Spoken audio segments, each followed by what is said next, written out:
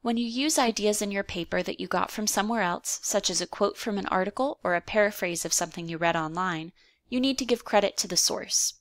You will do that in two places, your in-text citations and your references page.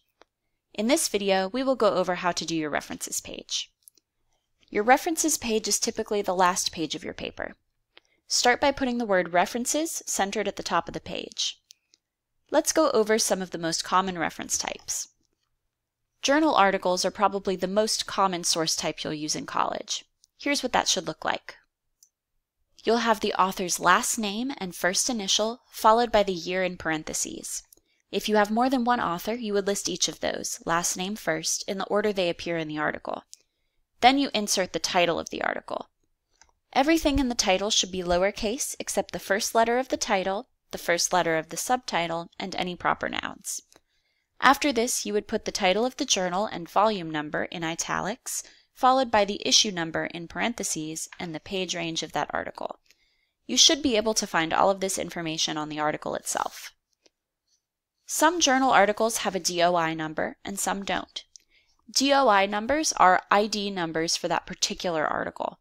If you see one on your article, you can use that. Otherwise, you will want to put the words retrieved from followed by the web address where you found the article. Another common source type is a website. Website citations look like this. You'll see that it's similar to the citation we just did. APA style follows the same basic format with slight variations. In this one, you are using the title of the website instead of an article title. How should these be formatted? Like the rest of your paper, your references should be double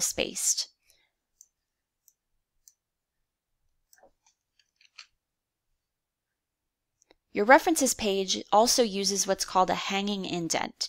This means that the first line of a citation is in line with your margins, but all the lines after it are indented half an inch.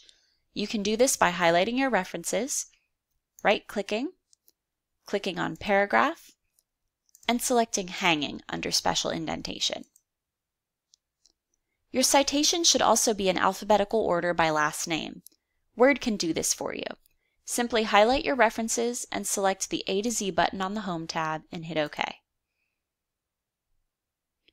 Are you missing some of this information or have a different type of citation, such as a book, a newspaper, or even a YouTube video? Check out the library's APA guide to get help. It's important to understand APA, but there's no reason to memorize it when there are resources available to help you out. One tool we recommend is Citation Fox, which breaks down citations by source type, format, number of authors, etc. You can use these to fill in the blanks. If you're using a journal article from one of our databases, there is a Cite button on the page to give you your citation.